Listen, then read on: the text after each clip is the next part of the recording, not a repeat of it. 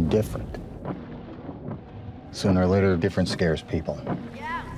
You think if you don't fight back, that maybe they'll like you. Stop picking on you, calling you a freak. Victim or not, make a decision. Your son is a remarkable young man. Wouldn't surprise me if he has more in common with Einstein, Mozart, and Picasso than he does with us. He has highly advanced cognitive skills.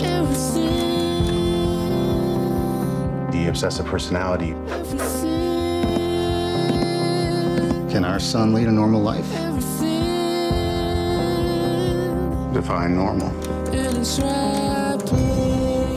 Maybe he's capable of much more than we know.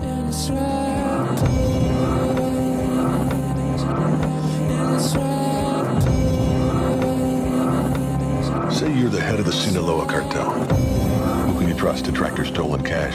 He's capable of coming in gold, uncooking years of books, and getting out alive. Imagine the secrets this guy has. Who are you?